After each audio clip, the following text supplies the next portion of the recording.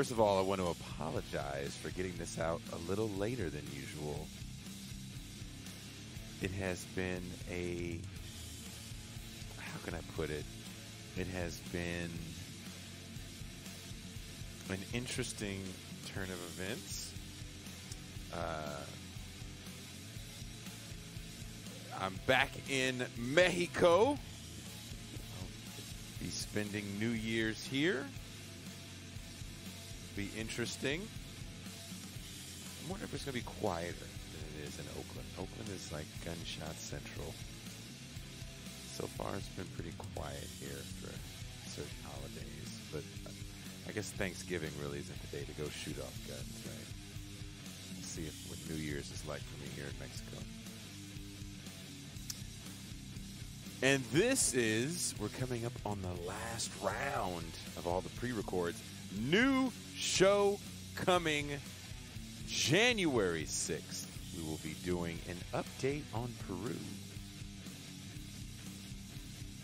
The homie Camilo will be coming through. Derek Barnes should be coming through. And we're going to update you guys on what's going on with Peru. That'll be Thursday, January 6th. And then January 8th, Ramsey Orta will be actually debuting his new book. Ramsey Orta is the gentleman that recorded George Floyd's murder by police. That'll be the Saturday show. And of course, after that, we will be introducing you to the sports programming that we're going to be doing on Sundays.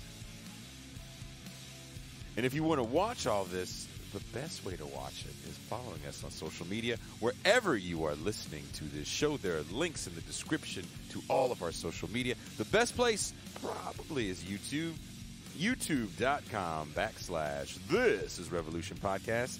Also, we're always live streaming on live streaming, live streaming on Twitch.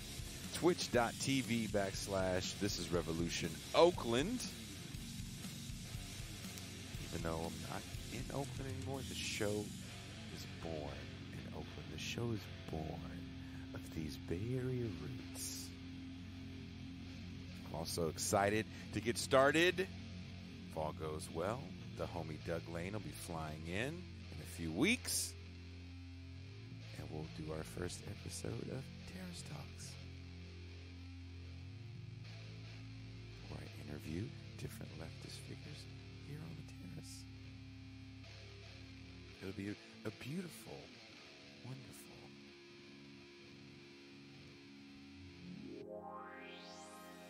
affair. This show uh, that you are listening to is from me, Djene Bajalan.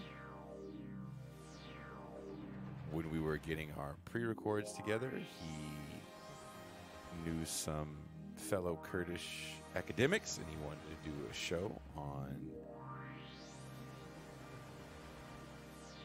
Iraqi Kurdistan. and he did two shows actually. And I forget why he did it, but he put both of them up. Um, maybe he was in the holiday spirit, or maybe he didn't have access to Patreon. I don't remember. But if you're listening to the show and you enjoy the conversation and you want to hear the second half of the conversation, the best way to do it, the only way to do it, if you want to hear it, the audio only, become a patron. Patreon.com backslash Bitter Lake Presents. Wherever you're listening to the show, there's links in the description.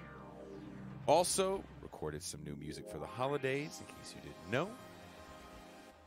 Even did a song with the homie who hasn't been on the show in a while. Um, he's been busy doing his own projects. Napoleon the Legend, you may know him as uh, he's always on No Miki Khan's show. You may know him just from music. I think he dropped like four or five, maybe even six records in 2021. Jesus Christ, guy, so prolific is such an understatement for, for the guy. Um, he also made the music for the Michael Brooks show. Was was a guest on the Michael Brooks show as well. Honored to call him a friend, and he did me a huge solid. Wrote a verse for this track, new verse, not one of those like recycled. What's the BPM? Okay, this fits. Wrote a new verse for for a track I made. And I made the track. I was like, damn, good for him. Of course, there's links in the description to that EP, only available on Bandcamp, called Black Christmas. Released it on Christmas. Won't be releasing anything on New Year's. My holiday release schedule is is done. But I hope you enjoyed this conversation on the history the Kurdish people, their fight for a Kurdish state. And again, if you want to hear the second half of this conversation, which goes for another, I believe, hour and a half, become a patron. Wherever you're listening to this show, there are links in the description.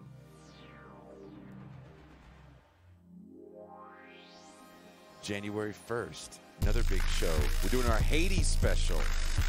Pascal Robert, Dr. Paul McComb. Get ready. That music means I've talked too long. You guys be safe out there. Have fun out there. And I am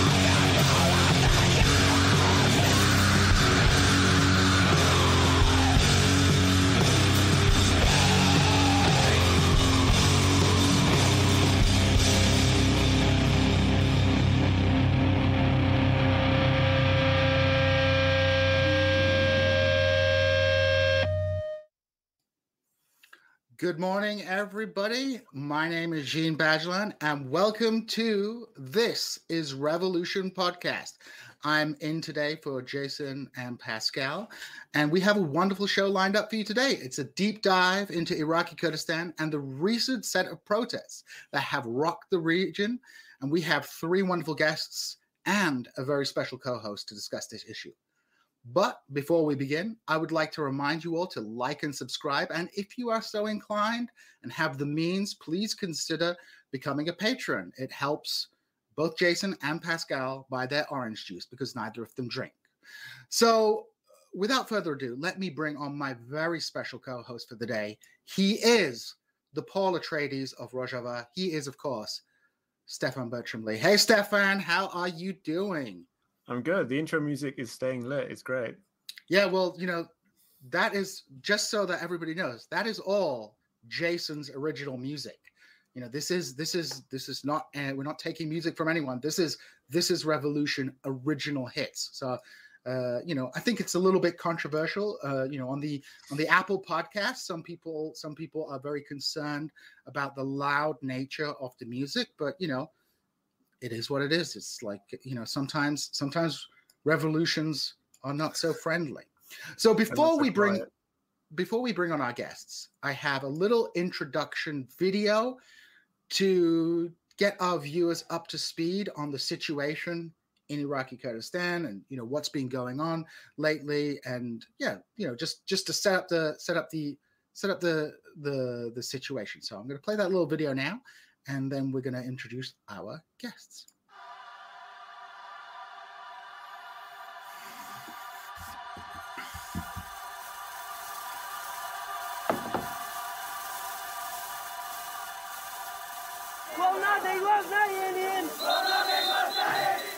Thousands of Kurdish students took to the streets of numerous cities in northern Iraq, including Soleimania and Erbil, on Tuesday, demanding their monthly stipends be restored by the autonomous government of Iraqi Kurdistan. Due to falling oil prices and a costly campaign against the Islamic State terror group, the government stopped paying the stipends, worth about $50 in 2014. Look, all the young people are leaving this country. They are all gone. They have left the region because of these thieves. Protests have been going on in Soleimania for three days. They reportedly grew bigger and more violent on Tuesday. Local media report that several protesters were injured and security personnel deployed tear gas to disperse the crowds. Protesters also set fire to the city's ruling party's offices. Some shouted more radical slogans such as Down with Family Rule, a reference to the Barzani and Talabani family's three-decade duopoly over the oil-rich region. We have students who have deferred their studies because they have no money. I know a few girls in the dorm who wash their friends' clothes to earn some money for that day. Even though the regional parliament had a special session on Tuesday to debate the problem, the protests showed no sign of subsiding. In an attempt to calm the crowds, authorities at Soleimanian University scheduled a two-day recess. But on Tuesday, at least one university dean joined the protesters to show support for their demands. We support the students' demands. We consider them legitimate and within their rights. Students in Soleimania barricaded major roadways, promising to keep protesting until their demands are met. For Dilshad Anwar in Soleimania, Iraq, Bejan Hamdard, VOA News.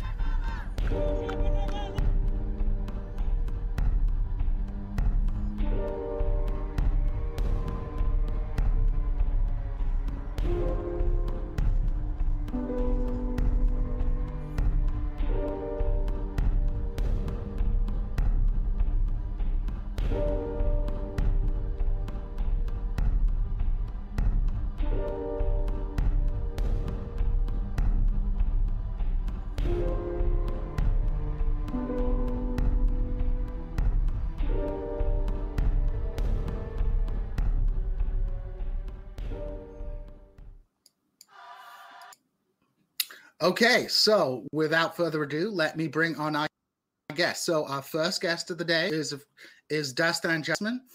Uh, Jasim, a doctoral fellow at the German Institute for Global and Area Studies in Hamburg, and uh, a doctoral candidate at Friedrich Alexander University, uh, Langen, Nuremberg. She researches on Kurdish political uh, culture in Iraq, Syria, Iran, and Turkey. She's a conflict researcher at the Heidelberg Institute for International Conflict Research, focusing on the Kurdish conflict in Syria and the war against ISIS in, since 2017. So, welcome, Dastan. Welcome to the show. Thanks for having me. Hey, we're really glad that you were able to make it this morning. I really appreciate it. So, our next guest is Lana Askari. Uh, she has a PhD in social anthropology with visual media from the University of Manchester. Her PhD researches uh, focused on how people in Iraqi Kurdistan imagine and plan their futures at a, in times of crisis, for which she produced the film Bridge to Kobane in 2016 and Future Factory in 2018. She currently works for the Dutch Ministry of Foreign Affairs and is a teaching fellow at the University of Amsterdam. Welcome, Lana. Thank you, Djene. Great to And- be here. Well, it's great to have you here as well. It's great to see you. Lana is uh, uh, an old friend of mine going back to, uh, I think, 2014 when we first met. So we, we- you know, it's it's really great to see you, see you, and and really looking forward to seeing the movies you've been making. And the final guest for the day for this super panel on Kurdistan is Abdulla Hawez. Uh, he is a researcher with a private consultancy firm in London focusing on Turkey, Iraq, and Syria and he has worked for the BBC World Service, the Daily Beast, as a journalist. He is also the co-founder of Yalla News Organization, which was founded in in 2014, but he's in he is not affiliated with that organization uh, anymore. Welcome, Abdulla. Thank you for having me. Well, uh, let's just get right to it, you know, because uh, there have been protests in Iraqi Kurdistan. You know, students were at the vanguard of these protests, but, you know, there have been more general protests uh, by other elements of society uh, in the autonomous region uh, of Iraqi Kurdistan, which, which basically, for those who don't know, is basically a state within a state that has existed since the first Gulf War and the creation of the no-fly zone. So, you know, although the region is technically part of Iraq and does not enjoy complete, you know, economic and political sovereignty, internally it is governed by Kurdish political parties and two political parties in particular, the Kurdistan Democratic Party and the Patriotic Union of Kurdistan, who basically have controlled that region since ni- uh, 1990.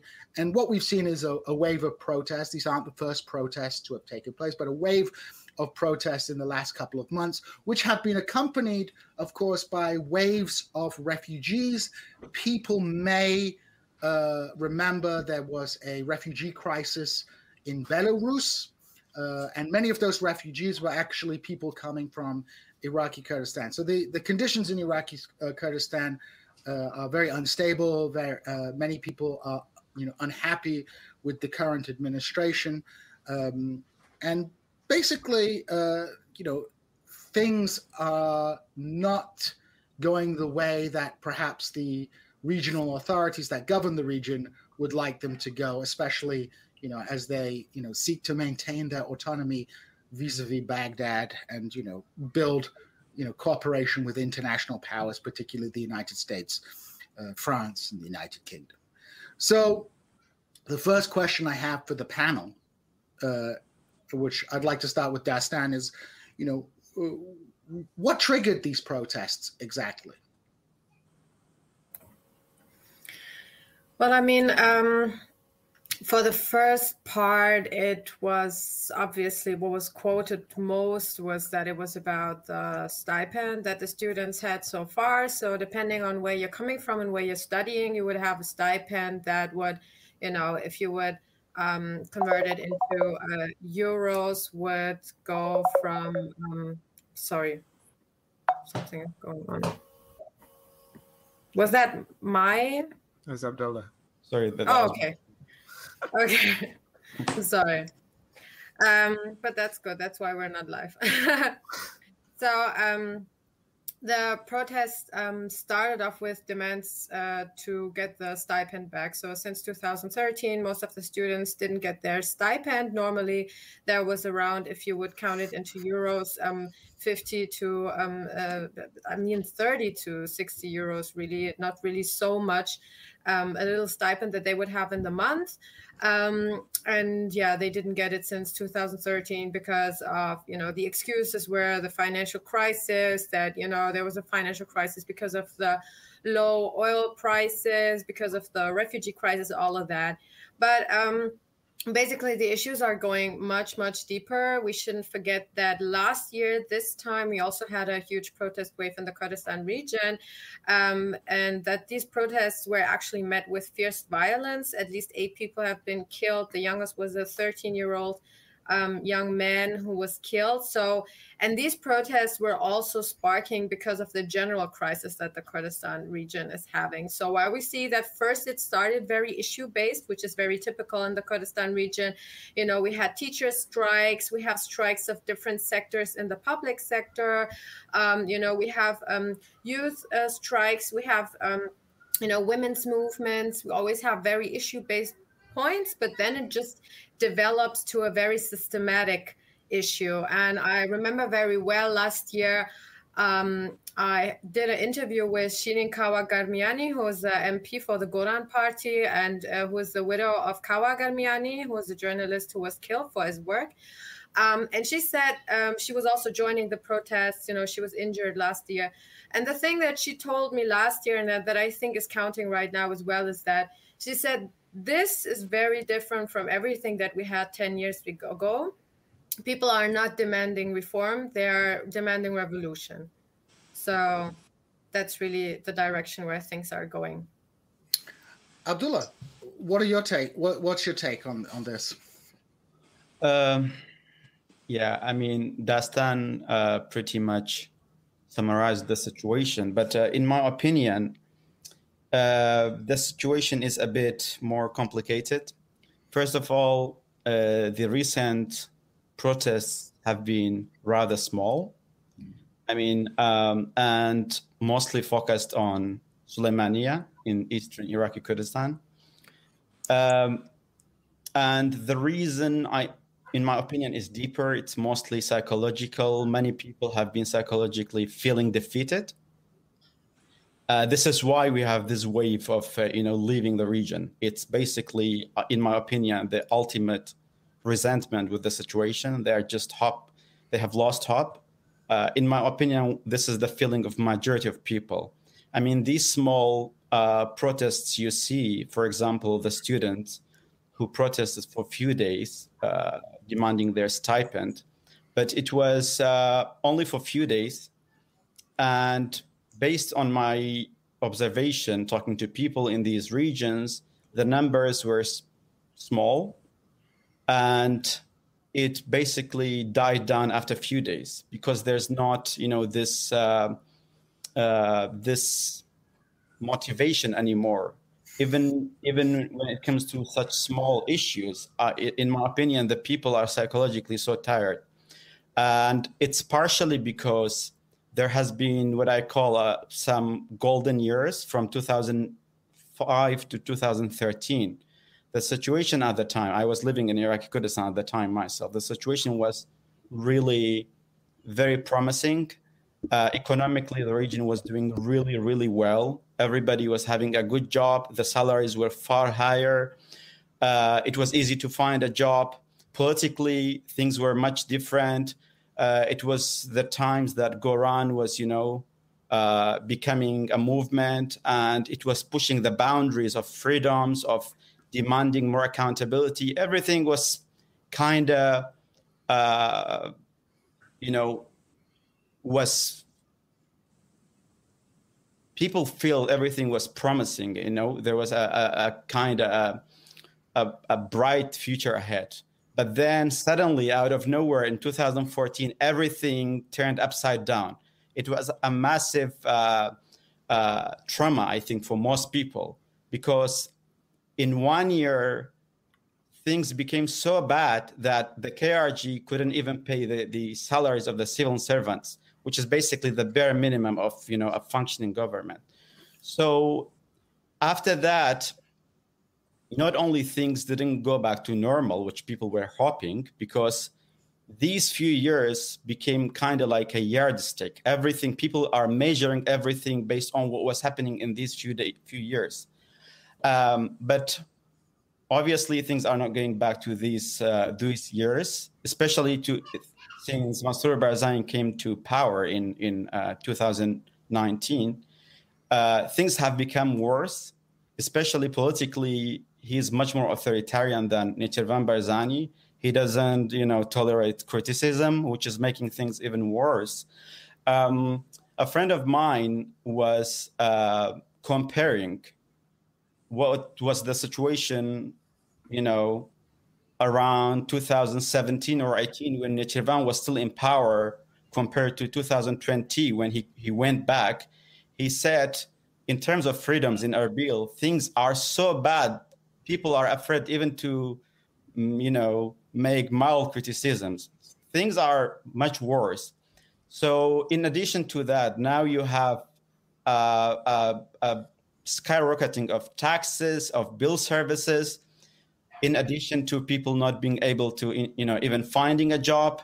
So, in for for many people, the taxes are much more than they make, which is I don't know how they they manage to to pay their bills, but it's becoming so bad. This is why everybody is is trying to find a way to to just leave. My own friends, I have some friends who were the type of people who were always criticizing people for leaving. You know, even now they are so hopeless that they think there's no future. They just want to leave. So in such a situation, uh, you may see some protests, but by in my opinion, I wouldn't pin so much hope on them because I know psychologically people are tired. I don't think they will they will um,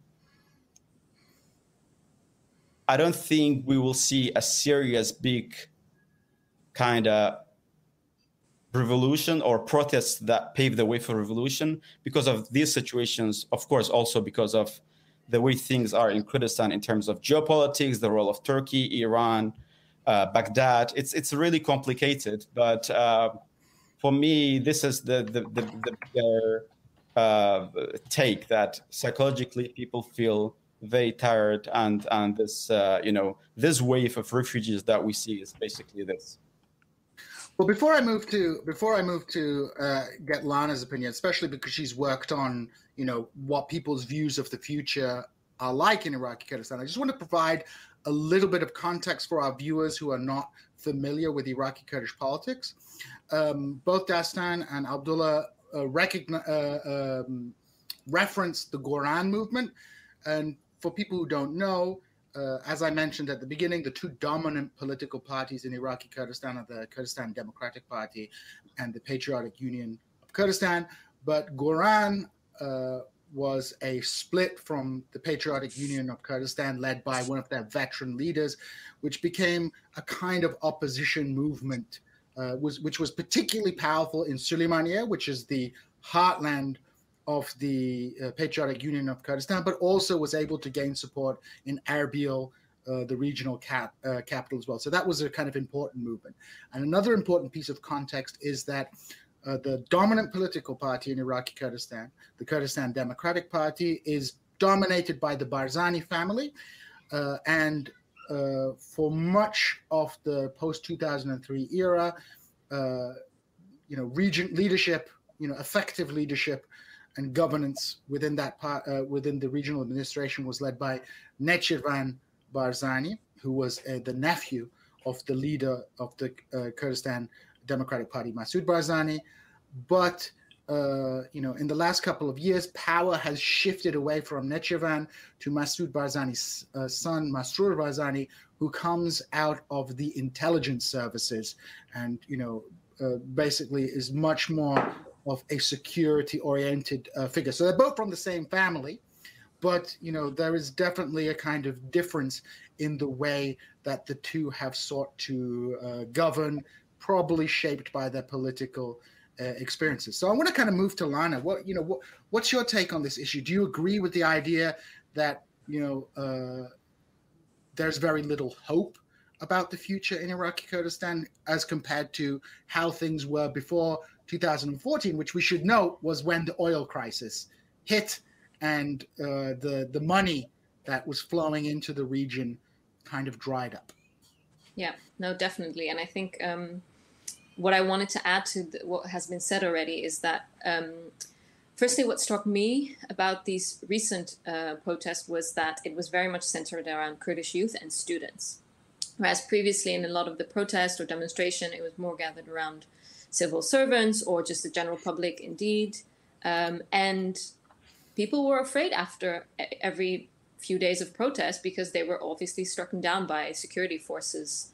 Um, and so you'd have like a kind of momentum of, of protest, beaten down, and then a moment of, of you know nothing, and then they come up slowly again. So I thought for me, what was interesting to see is how the youth and uh, students were actually Hello? going on the street and demanding uh, a Hi. right.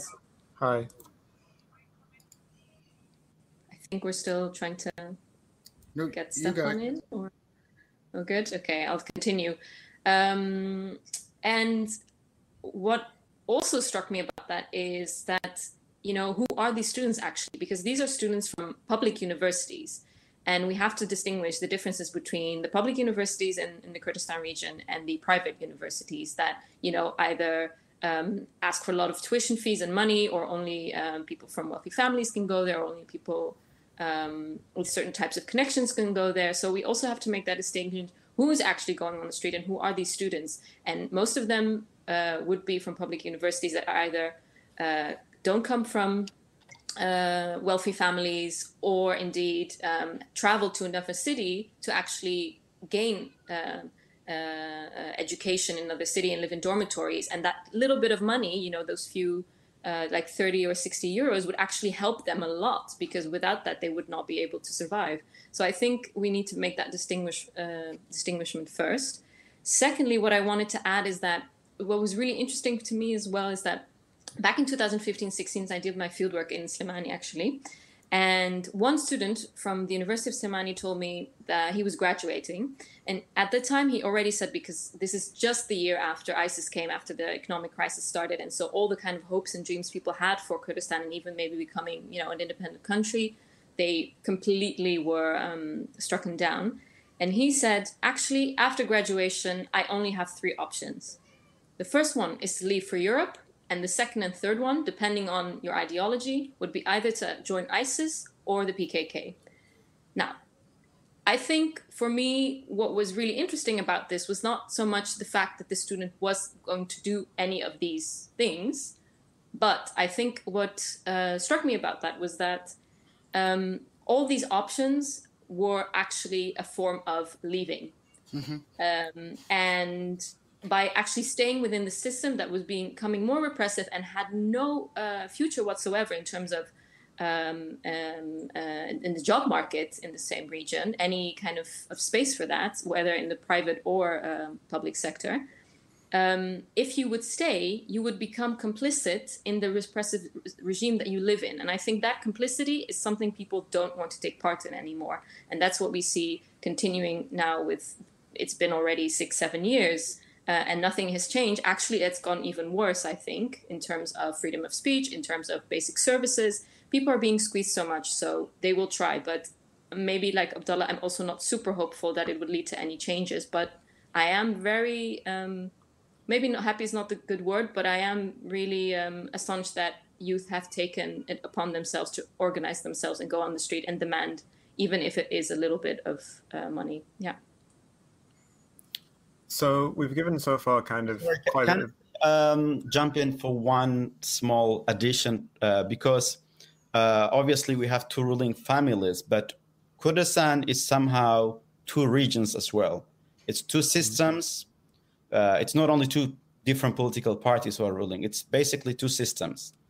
Um, Erbil and Duhok are ruled by KDP, even in terms of uh, the police, security forces, the intelligence agencies, everything is really very different from Suleimania.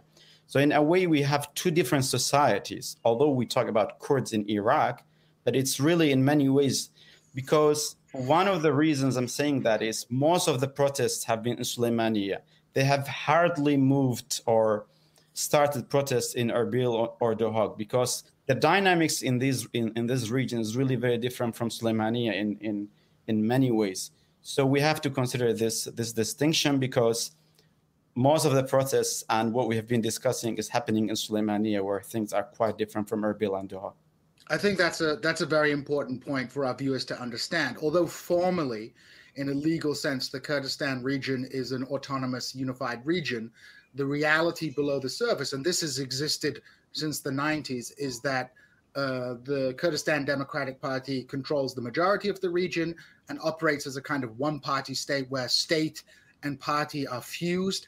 And then in Suleimania, you have the same situation with the PUK uh, operating a kind of one party state uh, in which power, uh, the state power and the party power are fused. And I think an important piece of context is that, uh, you know, we saw this in the last elections, actually. The KDP uh, still maintains a kind of solid base of support amongst, let's say, socially conservative right wing nationalists. Uh, the PUK, which functionally, in policy terms and in structural terms, is not that different from the KDP, but at least theoretically comes out of a left wing movement, has severely degenerated in terms of its uh, legitimacy uh, and its ability to control uh, uh, Suleimania. You know, the PUK uh, was a um, you know was a front organization made up of several different parties initially. The KDP is a far more centralized and powerful uh, organization centered around the core of the Barzani family, which has a tribal base. The Talabani family is not a tribal family. The Talabani leadership of the PUK does not come out of the the leadership of the Talabani sheikhs. Jalal Talabani, who was the leader of the PUK, his power comes from his uh, role as an urban intellectual and a Soviet, uh, uh, you know, somebody who who came out of the urban wing of the Kurdish movement and not out of the more tribal wing. So there was a kind of difference in the nature of the family power, and in the the PUK there was a there's a bigger degeneration of that power. And you know, I have a number of theories. For example, the KDP treat their children like little kings. So from a young age, they were appointed to high profile position. I think Nechirvan Barzani's son is now the head of the University of Kurdistan. He's like 23 or something like that. Whereas the PUK, Jalal Talabani's sons basically spent most of their youth smoking shisha on Edgware Road in London and then being parachuted in to high profile positions where they did they hadn't built up this kind of strong base of support. So uh, you have a kind of uh, degeneration of the PUK, which it's happening in the KDP zone, this degeneration, but at a much slower rate because that party has a stronger structure, has a greater legitimacy. Whereas in the PUK, you know, in Suleimania, when I was there in 2016, you know, even the children who are, you know, I was teaching at the American University of Iraq in Suleimania, even the children of the PUK leadership were saying, yeah, it's kind of a bullshit organization. Right? even they were admitting that it was kind of uh, falling to pieces. I remember one Turkish businessman who told me, he said, look, I do business in Erbil because in Erbil, there's one person I bribe. In Suleimania, I bribe one person and then this other person wants a bribe and I have to bribe several. So I don't know who to bribe. So there's a, so the PUK is very much like sort of falling to pieces uh, a lot more. You know, the KDP still, you know, still maintain that base. The PUK and Suleimani is kind of the weak link of the duopoly that was mentioned at the outset. So, you know, I want to hand it over to Stefan because he had some questions to ask. I mean, we should also mention that we were talking about Goran earlier, but in the most recent Kurdish uh, regional election, Goran did terribly because people perceived them as not having distanced themselves enough from this duopoly. So we should be clear that there isn't kind of like an opposition waiting in the wings and I think this this tells the point that Abdulla said about there not being really much hope of an opposition. But the question I wanted to ask was: We've already given quite a bit of kind of background on the KRG in general, um, but to make something clear, uh, my impression at least, and obviously the guests can see if this is true or not, is that in terms of political economy, the KRG gets basically all of its money from oil, and this is why it's so vulnerable to these oil crises because it's like 95% of its revenue is from oil. And so talk about the relationship there. And also, I've heard stuff in regards to kind of the KRG demanding a share of Iraq's general oil money, demanding that the Iraqi central government pay its public salaries and so on. So if people could kind of untie what's exactly going on here, I think that'd be useful for the viewers. Do you want to go first, Dastan? Yeah, I'm actually happy that the issue of economy is coming up because this is very fundamental. I have the feeling that, you know, um, even though in many cases we can see specific patterns, we can talk about tribalism and urban elites. But at the end of the day, everything has a very materialistic point and everything has a very materialistic reason. And um, the first and foremost reason that would pop into my mind, if anyone would ask me, why is the KDP more centralized and stronger than the PUK? is that they simply have control over way more oil fields than the PUK. They have much, much, much more money. Um, the fact that people would still vote for KDP is that the patronage system that they have is so far just simply more efficient than that of the PUK. They're not they're not specifically more intelligent, more amazing, more organized than the other party. It's just that, you know, so far throughout all of the crashes, throughout all of the crisis, they managed to still uphold somehow the basic of the um, money that they can give to their supporters. Like literally, the KDP supporters that I know from Germany, they would even get a ticket to fly to Kurdistan to vote in the elections, like Iraqi elections, vote for them. And then they would come back, like no matter whether there's corona or not. So, you know, you got to afford these kind of things. Um, the big big issue is the kurdistan region has no production it doesn't really have real um, means of production in that sense that they could have a hold of. And this has very different like various reasons. And it's also important to you know be very cautious in this kind of dis- discussion especially when it comes to the discussion with the oil revenues. It's actually a very complicated issue. It's not as easy to say that you know it's just that someone didn't pay their share that they have in a constitution and someone just you know declared a referendum. It's all about politics. It's not really about kurdistan let alone the uh, article 140 areas. Uh, and me know that full well as Khanaqini people that no one really cares about that well Khanaqin yeah it's, uh, people, so what for, just for people who don't know the kurdistan region governs three provinces Duhok, erbil and suleimania but there are also Kurdish majority regions attached to other provinces, including Kirkuk, which is the center of the oil fields, in, uh, including Khanaqin, which is uh, part of Diyala province, but is a Kurdish majority city, and obviously parts of Mosul uh, province as well. And Article 41, uh, which was included in the Iraqi constitution, was designed to, you know, these regions or sub districts of these provinces were supposed to be given a choice over whether they wish to be governed by the Iraqi central government or by um, the regional authorities. And that was never implemented. Now, the, the big push is always about the province of Kirkuk because Kirkuk is full of oil. Khanaqin, which is not full of oil but full of Kurds, is obviously less important to the dreams of uh, you know, which is you know, it's funny because obviously Khanaqin is some of is where you get some of the hard, most hardcore Kurdish nationalists, but is also you know uh, not really a big focus of uh, political effort because there is not much economic benefit to gaining control of Khanaqin. So yes, uh, I think that's an important important point Kurdish. Kurdish nationalists and communists, very important. but um, you know, to get to the production side of things. So, um, the most important thing to understand is to understand this phase after the Iraq war and what kind of economy was installed in Iraq and in general. This is not only about Kurdistan region. Before we had an economy where you know most of the means of production that kind of were taking care of the oil sector, natural resources, and that kind of stuff were in the hands of the state. And the state was pretty much governing everything, whether it is where you study, whether it is where you're working, whether it is how much money you get, everything was governed by the state. The state would take care of everything um, and control everything. And what happened in 2003 was that basically, with the American forces, everything was dissolved. All of the state companies were dissolved. And to all the tankies listening to this, no, Saddam, Iraq was not a communist, um, you know, uh, utopia. It was hell. People were killed. There was genocide.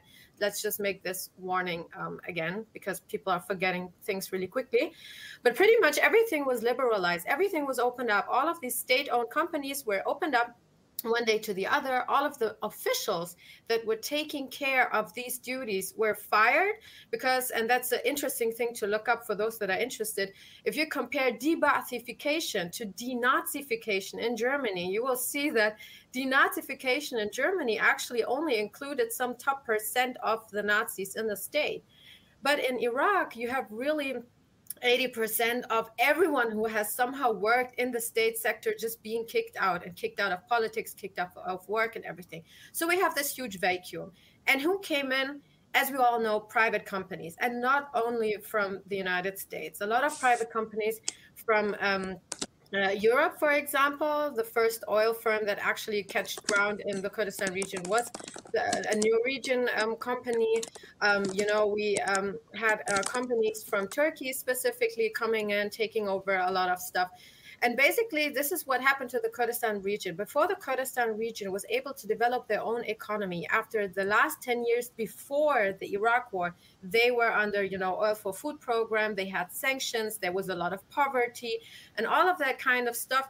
Um, you know, um, uh, all of that kind of stuff um, uh, was was the situation before. And then instead of being able to you know bring up their own production to produce something themselves to you know create sectors and there is a lot of stuff that can be produced in kurdistan. I mean the agricultural sector was, was absolutely huge you know the kurdish areas in not only in iraq but in syria and turkey and iran are traditionally the ones that are regarded as the ones that are um, you know the wheat chamber of the of the country all of these things would have been possible but the situation was just that these political parties were already there political parties were much more institutionalized before any state whether it's iraqi federal state or kurdistan region were institutionalized and they were the first partners to access when you would like to make a business deal so each and every head of every party was the first person that a private company would talk to if you, they would like to make business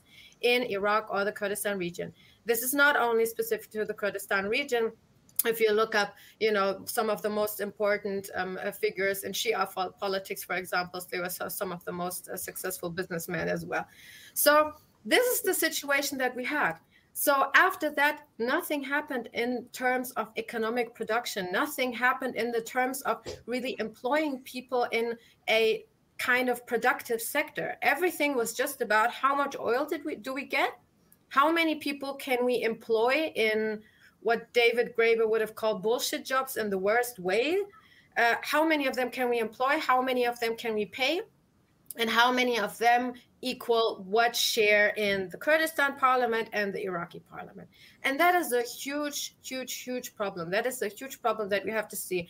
And I want to follow up on that point that Lana has just uh, mentioned right now. That's very important to bring up because there's always a lot of arguments about, you know, that person was a Ba'athi and that one is a Josh and that one is this and that one is that many people were forced to join the Ba'ath Party. There were a lot of things that you couldn't do without being part of the Ba'ath Party. Basically, you couldn't even, you know, go to graduate school b- b- without being part of the Ba'ath Party. So that's really um, an important point. But really, when you look at Kurdistan, most important point is there is no production, there is only oil, and that also corrupts a lot of politics. I think people also, you know, the analogy with the Ba'ath Party and the Nazi Party completely misses a very historic, uh, important historical point the Nazi Party ruled Germany between 1933 and 1945.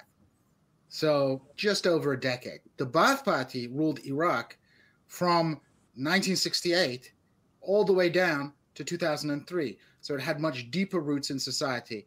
Lana mentioned uh, in the chat just now that uh, you know people were forced to join the Ba'ath Party, and I think Joseph Sassoon, who is an Iraqi Jewish historian, has written a book on this to show how much more embedded in society the Ba'ath Party was than, for example, the Nazi Party. So this big purge that took place after the first Gulf War, uh, uh, uh sorry, after the uh, invasion of Iraq, basically liquidated the entire sort of professional managerial class of uh, uh, Iraq and, and, opened it up to political parties, not just in Iraqi Kurdistan but also across the region. The way I often conceptualize it is, you know, in Iraq, up in actually before even the Iraq War in the 90s, you had infitah, the opening policy of economic liberalization taking place, and um, under you know under the after the war and the sanctions, uh,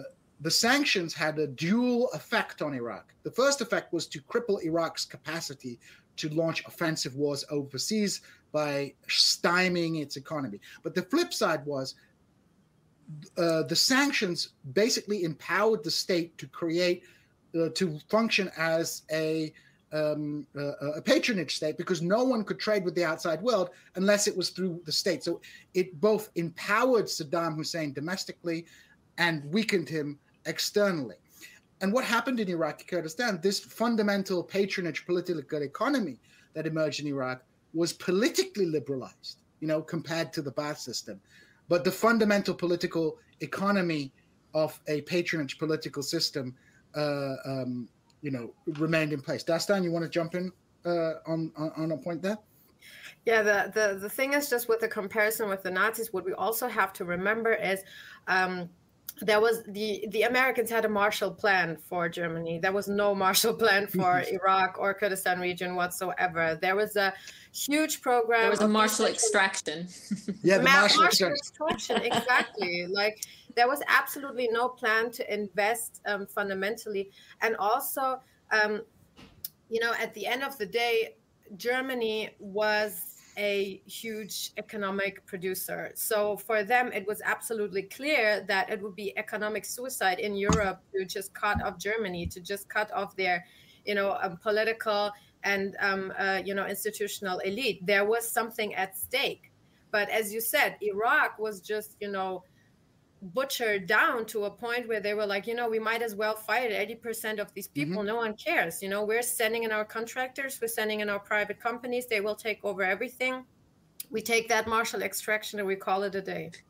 Well, this, so, I mean, this um, is this is important. People don't realize this, but 1968 in Germany was a protest uh, in many ways against the fact that all the Nazis were still in power, right? You know, that's you know that's what 68 in Germany was. That's why you know, German guilt over the war was not born in 1945. It was born in 1968 with this revolution against the Nazi elite that had continued to exist in the post uh, uh, post-war era. So I kind of want to pass it on to uh, Abdulla and Lana. So Lana, do you have any thoughts on this? And then Abdulla? yeah, I just wanted to make a remark on what you said um, earlier uh, about uh, people romanticizing um, time under under Saddam, um, and often people say nowadays, you know, yeah, um, instead of one Saddam, now we have a thousand Saddams ruling in the whole country. So I think that's kind of uh, a funny analogy to, to go back to. So instead of one ruler that's repressive, there's like a thousand people that you have to work through. Abdulla? Um, on the political economy, actually, for the sake of simplicity, I like to, I think we have three stages. We have from 1991 to 2003 2003 to 2013, and then from then until now, or maybe from nine, 2019 we have a different situation as well. So uh, in the 90s, Iraqi Kurdistan was under triple sanctions. Not only, you know, you had the uh, international sanction on Iraq and then Iraqi sanction of Iraqi Kurdistan. So the situation was kind of miserable. But uh, I think a lot of people were busy with agriculture, which was a, an important uh, um, uh, economic uh, uh, factor at the time. Uh, but what happened after 2003 was that with the pouring of money from Iraq and the agreement of the, the budget agreement between KRG and Iraqi gov- government to send 17% of the oil revenues there was a massive, what you can call welfare state in Iraqi Kurdistan, but a very messy, chaotic one. They have employed everyone that they could. I mean, their supporters, KDP and PUK. So what happened at the time? You had many people who were doing, who were having more than two, three, four salaries.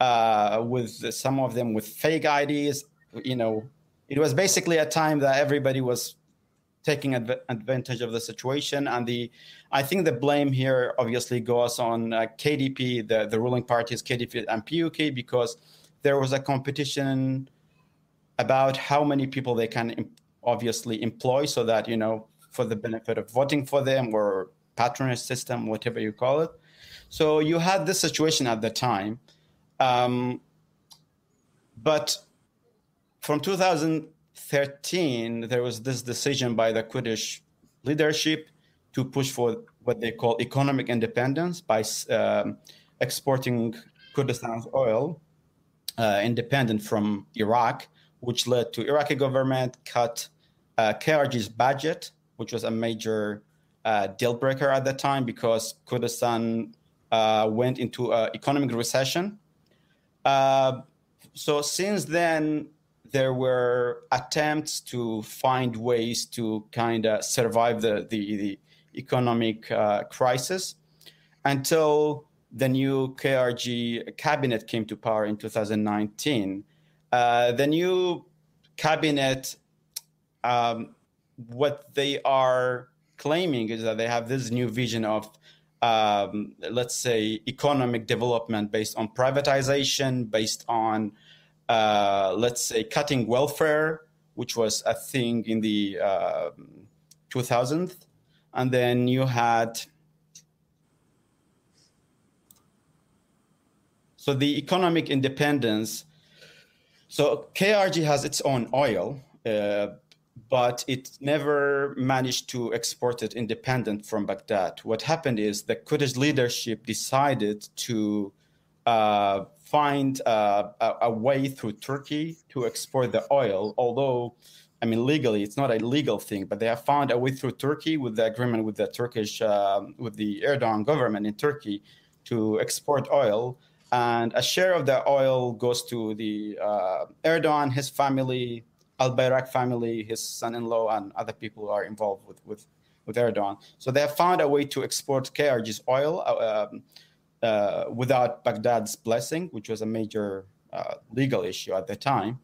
Uh, so, as I said, after that, this supposed to have brought prosperity to Kurdistan. The idea was this economic independence will, will bring more money because we will export more money than the 17% that Baghdad is, you know, giving us. That was the idea at the time, but it never materialized, obviously. So what happened is from 2019, Masroor Barzani with some consultants, I think affiliated with IMF, other people have tried this new economic model of uh, basically what they are doing nowadays is they're privatizing most sectors. They have started with electricity. They are doing it with uh, all the other sectors, even some very, um, let's say, small stuff like um, police traffic. Now they're even privatizing this. So it's it's it's getting a bit crazy, in my opinion. It's getting out of control. Uh, but for me, the issue is not only the privatization. What they are doing, they are transferring the public wealth to private companies that they control.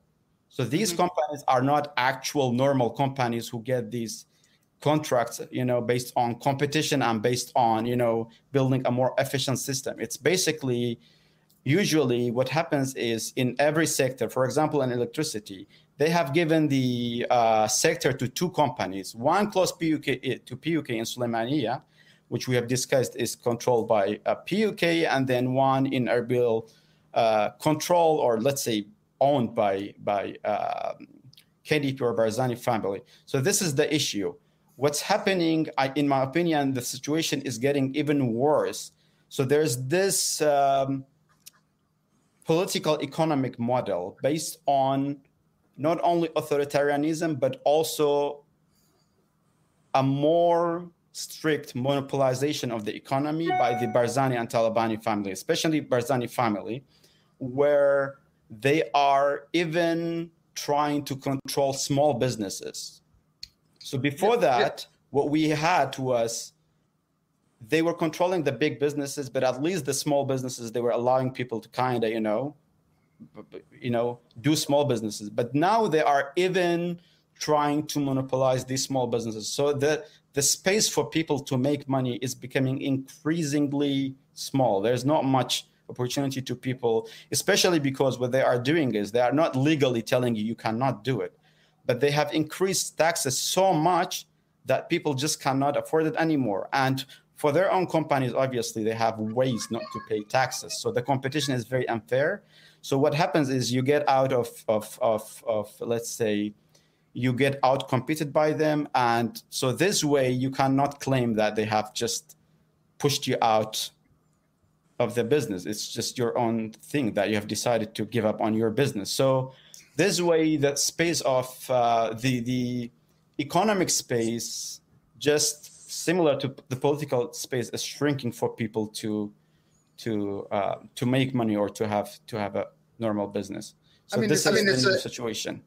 It's the It's the authoritarian, authoritarian neoliberal, neoliberal model. Jen, you're you're, you're talking Um, twice. Yeah, I, I think um, so. A friend of mine has a very interesting uh, theory for this.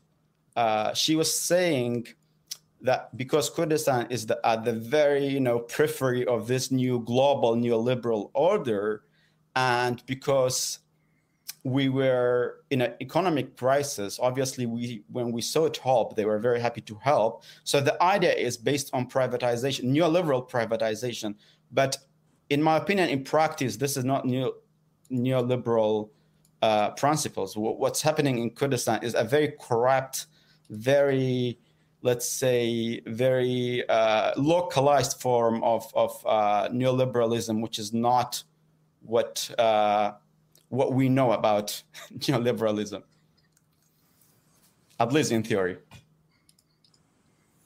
So uh, there's an echo. Yeah, you're echoing. That's strange. Can you hear me now? Am I echoing now? No, you're fine. Okay. Yeah. So, um, I mean, I would I would say that neoliberalism in general is always kind of this way. I just think we have a more extreme version of it in, Iraqi Kurdistan. You know, privatization in the United Kingdom, for example, obviously ends up benefiting people with political connections. But I do take your point.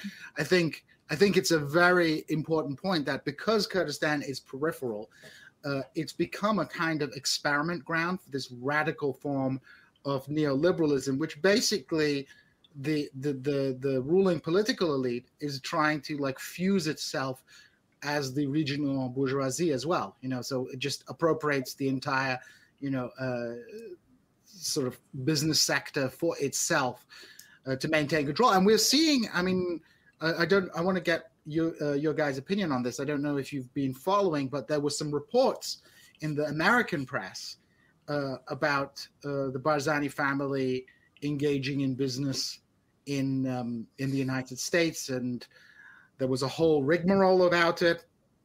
Um, you know, a lot of uh, I posted about this on Facebook, and some KDP people were very upset with me saying this kind of stuff. And you know, the the KRG replied that Barzanis aren't doing anything. The researcher was having an affair with with an opposition activist. You know, like typical character slander.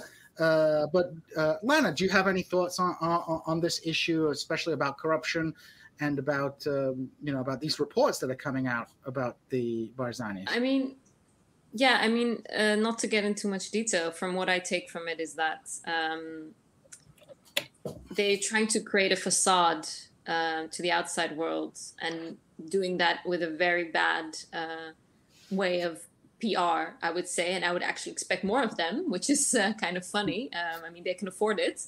So, uh, yeah, I'm not really sure where this terrible PR is coming from and how they're still in this type of level of creating a facade for people because obviously we know corruption is happening on all kinds of level there um, they know the people know there's no sense of false consciousness in, in the kurdistan region i mean everyone is aware of that and uh, like i said earlier um, you know talking about it they want to free themselves from their own complicity in it because you cannot live without that system if you want to exist there no one can um, and I yeah I think it's uh, it's extremely funny, uh, but also very uh, it has a lot of consequences, of course, for the people involved. So I I, I think it's um, kind of a surrealistic uh, situation there, uh, where you know um, what's the what's the word in English? The Keizer zonder kleren, the the emperor without his clothes.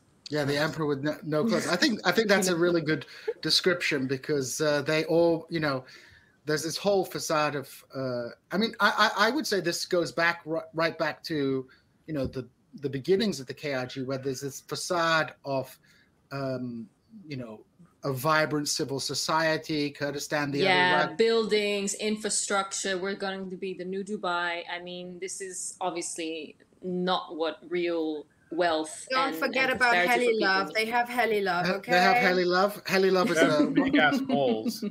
Uh, well, what's his name? My mom. Uh, my mom, who is uh, Linus met my mom, who's like a, a, a Welsh lady. Um, she c- she has a good phrase for the Iraqi Kurdistan region. She says it's all fur coat and no knickers. Hmm. Yeah, so you know, there's nothing under. You know, it's all fur coat and no knickers. A lot of it is facade. But I say, you know, back in 2004 when I first went there, you had all this civil society, but behind this civil society was like KDP money or PUK money for these uh, organizations. Like feminism in Iraqi Kurdistan is basically something to keep the you know the The bourgeois feminism. the bourgeois, you know, the the, the middle class wives uh, of of uh, you know political elites or pe- politically connected families. Yeah. Uh, you know, give them a kind of job. You know, Iraqi Kurdish feminism is basically upper class uh, women who have their children raised by Nepalese uh, uh, nannies, arguing over Okay, I wouldn't gets. say that about every kind of like not- Iraqi Kurdish feminism. Like, I mean, you know, I mean, uh, me The as someone feminism, the elite feminism. I'm talking about the ones. Yeah, well, but I mean, who is the elite? I mean, I have been working with CGDS, and I would definitely say that's elite stuff. Working at AUIS is elite stuff. I would Mhm. definitely say I'm privileged AF. Um, but you know, we went out there to the most, um, you know, uh, to the outskirts of I don't know where, you know, outskirts of Halabja, you know, Sharazur and whatnot, to you know um, have uh, panel discussions with people about. Um, you know, uh, uh, GBV, about, um, uh, you know, um, FGM, to talk about, you know, even queer rights. I mean, you know, I mean, we shouldn't just fall into this kind of identity political idea of, you know, everything has to come from the bottom. I think we should be very, especially as activists, and would be aware that you have to use these channels, you have to use the elites, but there is some good stuff that you can do on the Oh, way. I mean, I would say, I would definitely, I would say, you know, there are people who do good. There are two people who do good work. Uh, I'm not criticizing everybody who does work. Perhaps I was unfair in that sense, but I have seen, uh, and maybe I'm wrong about this. I've seen some of the activism tends to be like highly performative people attempting to get trips to Europe to speak at conferences when they do nothing at home. Now, I know I actually know people, you know, people at the people at AUIS uh, who had their gender center were doing like like really trying to do some stuff and things like that. I'm not so much talking about that. I'm talking about the kind of top-down party officials, the Yeah. the, the top-down party officials who attempt to monopolize the voice of, uh, of like the Helly Luv uh, music Yeah, industry. who definitely. try- who try to monopolize. Position where I'm coming from to, to, to make that clear, because I think that is something very toxic that is happening in the Kurdistan region right now, is there is a trend that whenever something happens to a woman, whenever there's gender-based violence, whenever there's even right now when there were protests, when uh, young women were attacked by the police, the first thing that people say is, uh, "Kwa rekhrawi jnan?" um, where are the women's organizations? Mhm. As if, uh, you know, the whole of Baathism and dual party rule and corruption, everything is um, because of uh, some uh, feminist organization. So I think we should just not fall into that trap at the end of the day. But, um, uh, you know, I mean, and and and you know to, to just say something about that because i just mentioned the protests again and we talked before about you know um, that the protests were more frequent in slemani i wouldn't necessarily say that um, we had protests at Salahuddin University in Hawler where people were specifically chanting that they are there in support of the um, protesters in Slimani. And that's actually revolutionary for Hawler. Like I was talking to students from there that were there on those protests on those days. They were literally, we were like fearing for our lives. Like we were like, um, you know, we knew that the students union in the WhatsApp chat was calling uh, upon us to go to the protest, but at the same time we were afraid because we were like, what if there is people that are from the party and they are, you know, gathering us up there to, you know, beat us up, and Mhm. that happened. A lot of people were beaten up. A lot of women have reported they were specifically attacked. They were specifically trying to quote unquote dishonor them, saying that they would take away their phones, they will share photos on their phones all of these things happened and the, the young people were still resisting you know and i think it's not really fair to those people that were standing up to do that also, we shouldn't forget the Badinan prisoners. We actually have a huge civil society movement and protest movement in Badina. Um, we have people that were actively protesting military bases there that were detained. Um, mm-hmm. Some of them, we have never seen them again. You know, in the outskirts of Slemani, in Sharazur, in Germian, and Rania, um, you know, in Qaladizeh, in all of these cities, we have had protests. And even to mention last year's protests, that's also very important.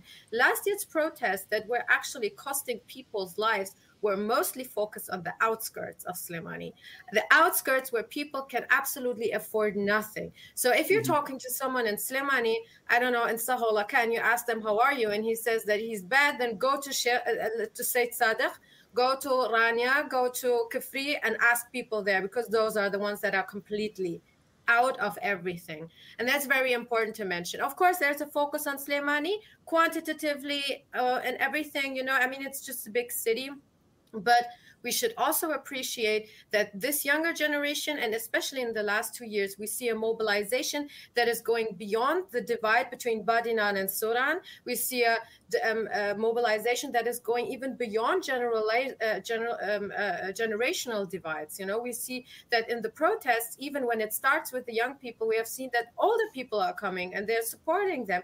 I have talked to young people um, that were, um, you know, attacked by the police, that were attacked with tear gas, that were like um, injured, and they told me, hey, like some of these old families that were like living in the old uh, city of Slimani, you know, for the people that know Slimani, the old city, most people that are living there are really like the old school Slimani people. Like literally, all people were dragging us in, helping us, giving us water, really, you know, closing the doors, securing us from the police and i think that's super important to man, uh, mention that although there is like a lot of hopelessness and everything a lot of barriers have been broken in the last days and we should do you know justice to them as well. Can i can i add to mm-hmm. that? I think it's really important last time you're mentioning this. What i think is um, um, problematic at the moment or has been in the past few years is that all of this social activism all of these kind of civil space that is you know people are trying to make a difference is not being um, included within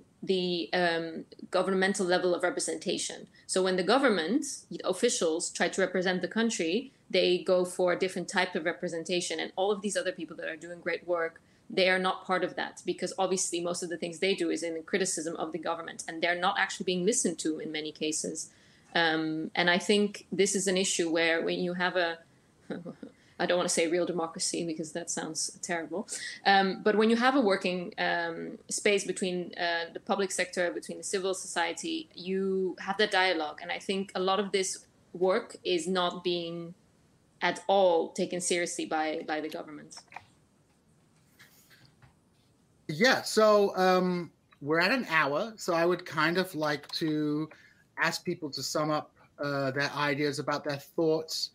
Uh, their thoughts on the uh, on the future, and their thoughts perhaps on you know where things are going, not only within the region but in terms of the the re, you know the regional players. You know what's Turkey? We haven't touched on, for example, the Turkish military intervention in the region. We haven't really touched on a lot of issues, including, for example, the fallout from the 2017 referendum. That's a we could probably go on for three or four hours on this topic.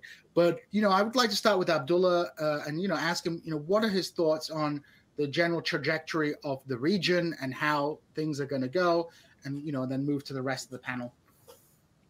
Yeah, um, I think the situation. Iraqi Kurdistan. I mean, the situation is um, in terms of public opinions mood, obviously there is a huge, uh, let's say, a huge resentment among the population. I mean, the majority of population who are not benefiting from this uh, corrupt system. But uh, what makes or what complicates the situation is the status of Iraqi Kurdistan because it's not a state. It's basically sandwiched between two regional powerhouses which have a huge stake in the region, uh, uh, not least because they have their own Kurdish population. So obviously, always they will intervene and they will have a say of how things will go in Iraqi Kurdistan. More so now because Turkey, for example, they have gradually increased their not only soft power but even you know physical presence in the region in terms of uh, military bases. Um, in uh, the KDP areas, uh, they have some 30 visible military bases, in addition to many uh, intelligence offices in Erbil, in like that people know. Like it's just so it's difficult, in my opinion, to predict because of all these. But the situation in itself is is ripe. But it's uh, but I don't think we have a readily available solution. We don't have a readily available uh, movement to take over. It's still we're still in this uh, period where uh, more morbid symptoms of this, you know, decline of what's happening in Kurdistan is becoming more apparent. But a new movement hasn't is not hasn't born yet, in my opinion. But even if it does, how would the change occur? Because I don't think, uh, given the uh, you know entrenched ties of KDP and PUK with Iran and Turkey, I don't think they will let go. And in my personal opinion, I don't want to be pessimistic, but I don't think change in the normal means will happen in Iraqi Kurdistan because of this complication, because of Turkey and Iran, and mostly also because US and the West is becoming less and less interested in the entire Middle East, not only uh, Kurds. So this will make the role of Turkey and Iran even bigger. Uh, they will have a bigger say in in the region's uh, politics. So, in my opinion, there would be no actual change without a, an international and regional consensus due to the makeup and the way the region exists. Lana? Um, yeah, I mean, I want to add something about how the um, the past years, how what unfolded in Rojava, what unfolded with the YPG and the PKK taking a taking a role up there in the fight against ISIS. I think this kind of also I don't want to say inspired, but you know, it created this kind of political engagement and momentum for a lot of uh, Kurds in the diaspora as well, for connection between the different Kurdish parts as well. And I think this did open up space for a kind of ideological ideological shift or a different types of future that people would imagine for Kurdistan. So I think we're kind of at the end of that momentum already, especially since you know Turkey is stepping up their military presence everywhere. Um, um, but I don't want to let go of those ties yet. I think it will be really interesting to see how those ties, uh, when we're talking either about international diasporic ties or, like Dastan mentioned, uh, ties between the different pr- provinces within Iraqi Kurdistan, what they will lead to. So yes, uh, we'll need international presence to actually make a change, but from the grassroots onwards and the connection people have and the presence of the internet, I think people are thinking about different ways and whether that's leaving the country or changing the country. I don't know how what that will happen, but yeah, it's definitely created new new possibilities. Dastan? Well, I think uh, the scientist in me would definitely be pessimistic. I think the end game is about who is going to be the regional power if the US leaves. And that question is mostly between, you know, is it going to be uh, Turkey? Is it going to be Iran? Is it going to be the kind of Gulf, um, Jordan, Egypt axis? Um, that has a lot to do with the end game also in Syria. Um, I mean, for Turkey, the thing is, I mean, we we have uh, elections coming up, and there is, uh, you know, some voices that say, you know, CHP could this time make it and you know get the majority, and maybe things would get better. I have absolutely no reason to believe that. Um, you know, uh, uh anyone who is studying Turkish history knows that most of um, you know, military foundations, military stat- strategics, and also anti-Kurdish racism are coming from the Kemalist Foundation. So I have absolutely no reason to believe that they're going to stop the um, invasions actually the invasions are included were prolonged for two years so um, the, another CHP government is going to take that the Raisi government is absolutely not going to hold back. Um, I mean, uh, a lot of the recent operation uh, operations of um, Turkey, for example, in Choman area, we're supported by um, Iran. So that is absolutely happening. Um, the, a lot of it is uh, depending on what the situation in Baghdad is. So we see that there are negotiations still going on. We see that the Sadrists are discussing with other Shia parties. A lot is depending on how they're going to dissolve their issues because that is going to influence what kingmakers or non-kingmakers, the Kurdish parties, and especially KDP is going to be to Baghdad. So this is also connected to that.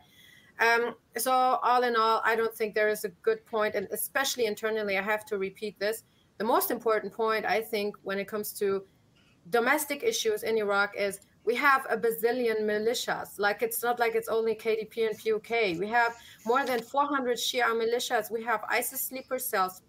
If there is no disarmament of these groups, we cannot even talk about the remotest form of institutionalization because depending on where you live in Iraq, you have to, you know, be part of some militia or support them or get some backing from them. That's it. But the activist in me is still positive because um, you know i still see that we have a lot of connections in our day and age you know people, people like you and me we can talk to protesters we can translate what they have to say we can um, you know uh, reach out to them. We can spread their voice. We can support them. They can support us. We can learn from each other. And the most important thing i think in bashur is to open up to complexities to be open that you know life is just complicated. Especially some of us uh, leftists have a problem with that, but we have to embrace that. And um, nevertheless, I think there is great potential because at the end of the day, we should remember that it was the Kurds and the internationalists who defeated ISIS in the last years. Well, um, I would like to thank, well, actually, before I thank everybody, Stefan, any last words you want to jump in with? No, I haven't really spoken today, but I'm also, I'm not filled with words. I'm happy. Yeah, it, this was a really wonderful panel. I really want to thank everybody for participating. And to our viewers, this is part one of uh, a two parter. And we're going to have a second discussion, but this time about some of the broader geopolitical uh, uh, questions surrounding why the Kurds don't have a state. And I will say to our panel, this is actually a question that people ask me all the time and uh, I'm like, well, you know, it's a very complicated question, and I think it's an interesting one.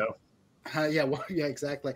So we're gonna we're gonna take a little break, and we're gonna come back, and we're gonna talk about this important issue. So for this part one, as we say on This Is Revolution, we are out.